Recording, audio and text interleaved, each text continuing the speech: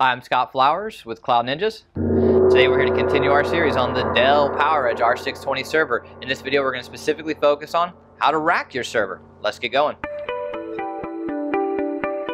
Well, hey, thanks for stopping by today to learn a little bit more about how to rack your R620 server. Uh, do us a favor, find things video useful, click that like and smash that subscribe. All right, so we're going to get started. This is going to be the uh, the left rail. Um, I personally like to do this with two people. It makes it a little bit easier. Can you do it by yourself? Sure, uh, but it's definitely easier if you have uh, another person to help you. Uh, so we have one of our techs in the back here. Angel's going to help us out. So Angel, we are going to go to uh, number 13. So go ahead and grab the back.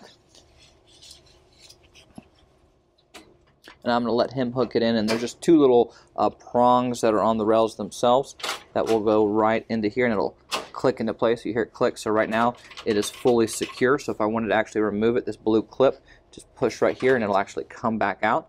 And then I can put it right back in if I needed to and it clips right back in okay?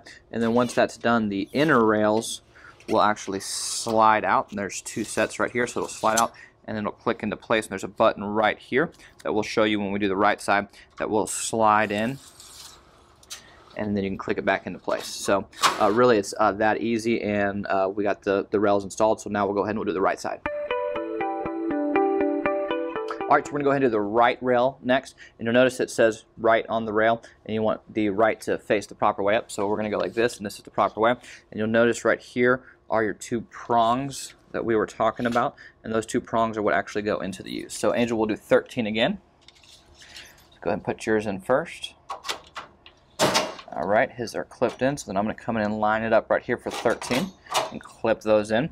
Uh, and you'll see it's fully in, and if I wanted again to take it out, the blue clip, you can remove it if just you pull the blue clip. So we'll go ahead and clip this back in. And then I want to pull these inners out so that I can show you. So here's the first set, and then the second set, and right here, this button is what you would need to click to slide this back in. Okay, so now we will go ahead and actually drop our R620 in. All right, so now we're going to actually put the 620 into the rails. So we're going to slide our inner rails out. And as we discussed, there's actually two sets of inners, and you'll hear it click into place. Um, and within the inners, there are multiple uh, notches that are carved out uh, where you're going to put these little rivets that stick out this is where you're going to drop them in to the uh, to the notches. So let's go ahead and line them up, and we're going to do the back one first, and then kind of uh, hinge it down almost. So slide that one in. All right, perfect, and then come down.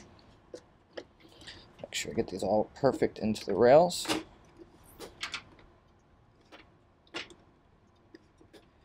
There it goes. Mine are in, ears in.